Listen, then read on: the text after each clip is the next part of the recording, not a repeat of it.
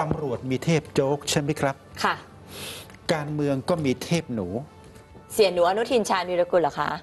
ทำเสีไมยให้หนู เดี๋ยวนี้เขาขั้นเทพนะ ทำไมไม่ให้เขาเป็นเทพล่ะคะ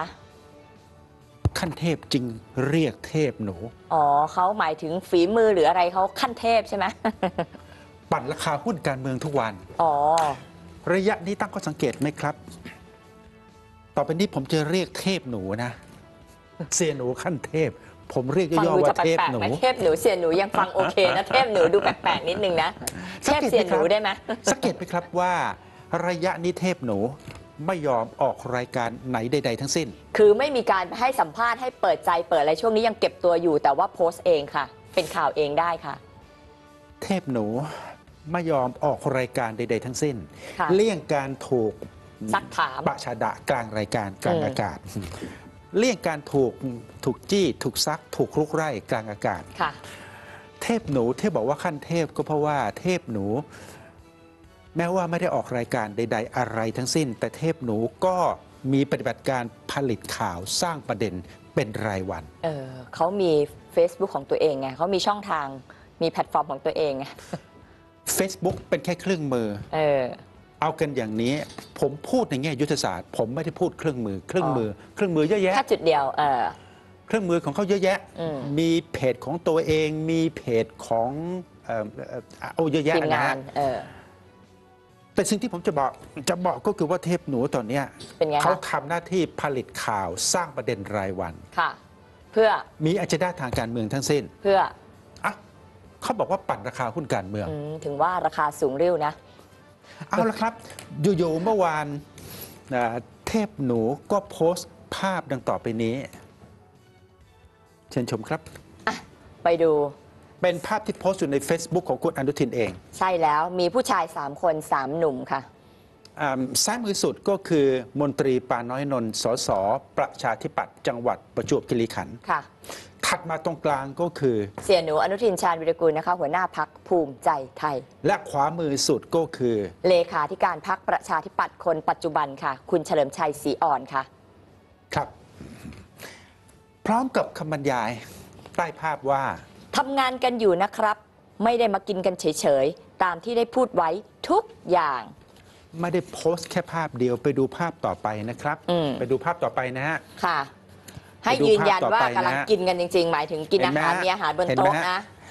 ไม่ใช่เจอกันเฉยๆนะ กินจริง ๆ กินอาหารกันจริง ๆ บนโต๊ะเห็นไหมอาหาร กินข้าวด้วยกันยังไม่สำคัญเท่ากับภาษากาย ค่ะ จงใจ action เช็คแฮนด์แล้วก็ให้เก็บภาพ แล้วก็เอาภาพนั้นมาโพสต์ใน Facebook เพื่อให้รู้กันทั้งประเทศ แปลว่าอะไร แปลว่าปล่อยข่าวเอ้ยไม่ใช่ครับ สร้างข่าวอืมผลิตประเด็นเอ่อรายวันเพื่อปัดราคาหุ้นการเมืองใช่ไหมครับ ค่ะ ภาพภาพนี้มันบอกเล่าเรื่องราวทางการเมืองมากมายแก่กองทีเดียว เป็นการตอกย้ำว่า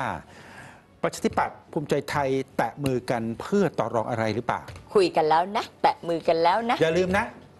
อืม52 เสียงประชาธิปัตย์51 เสียงภูมิใจไทยเขาบวกกันแล้วนะ เป็นร้อยกับ 3 เสียงนะค่ะดันั้น103ดังนั้นไม่น้อยนะ115เสียงพลังประชารัฐอืมคิดอะไรอยู่ ก็รีบสร้างความชัดเจนนะ ถูกค่ะ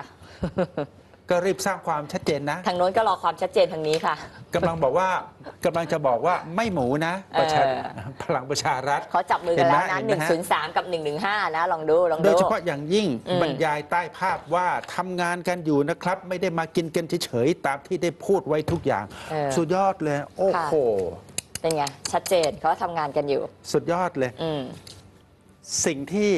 เคียงข้างมากับภาพเมื่อสักครู่ก็คือข่าวดังต่อไปนี้ ค่ะ ว่า ข่าวดังต่อไปนี้เป็นอืม เป็นแหล่งข่าวกล่าวว่า อืมแหล่งข่าวกล่าวว่านะค่ะ แหล่งข่าวกล่าวว่าจริง ค่ะ แหล่งข่าวจากไหนคะ แหล่งข่าวกล่าวว่า ๆ ผมก็เดากันต่างๆ นานาเป็นแหล่งข่าวที่อยู่จากแถวข้างไหนตัวเทพหนูหรือเป็นแหล่งข่าวที่อยู่ข้างๆตัวเสียต่อก็คือเฉลิมชัยศรีอ่อน ไม่แน่ใจจริงเออเขาๆแหบอล่กงว่า ข่าวกล่าวว่า อืม แหล่งข่าวกล่าวว่าประชาธิปัตย์ภูมิใจไทย จับมือกันแล้วค่ะ คุยกันแล้ว อืม ได้ข้อสรุปเบื้องต้นแล้ว ค่ะว่า สรุปว่า